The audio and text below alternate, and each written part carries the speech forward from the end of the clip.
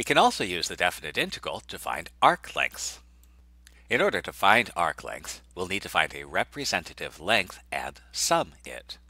Suppose we have the curve y equals f of x.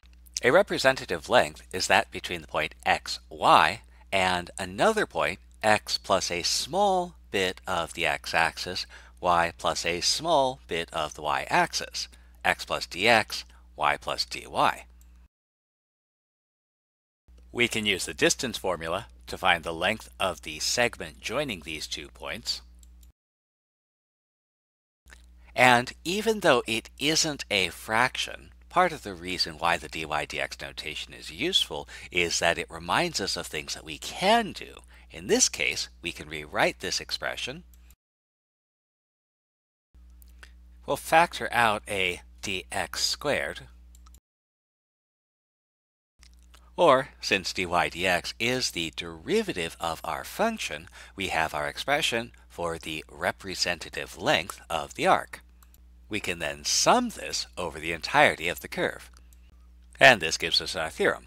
Let y equals f of x be a curve that is continuous and differentiable over the interval between a and b. Then the arc length of the curve is going to be the integral from a to b of square root 1 plus f prime of x squared. For example, let's find the length of the curve y equals x to power 3 halves over the interval between 0 and 4.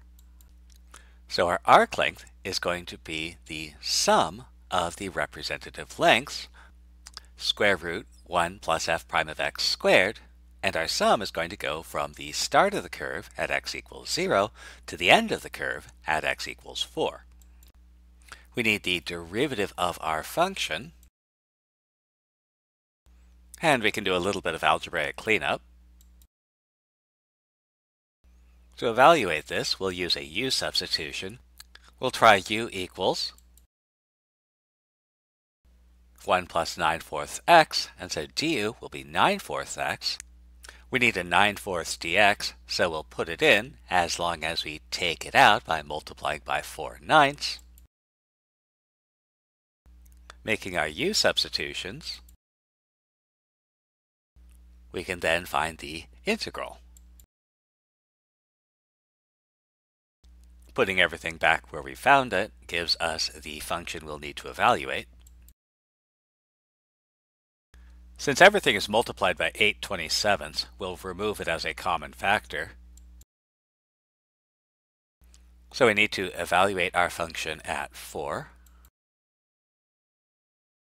and at 0. And while this is a perfectly good answer, we'll rewrite this without the fractional exponents because we can.